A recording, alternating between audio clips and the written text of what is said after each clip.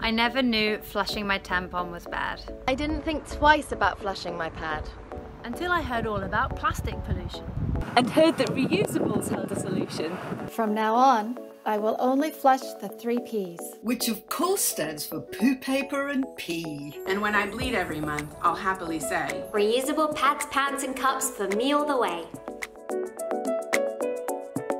How many tampons and pads do you think you use every month? Have you ever wondered how much money your period will cost you over a lifetime? And how much waste has been created? A staggering 4.3 billion disposable menstrual products are used in the UK every year. But by switching to reusables, you could save around 95% of what you'd spend on disposable period products over your lifetime. We've got reusable cups, washable pads, and period pants.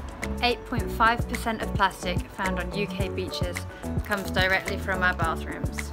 By only flushing the three Ps and making the switch to reusables, we're helping to save our oceans. So for plastic-free periods, why not give reusables a go? Your body, your wallet and the oceans will thank you for it.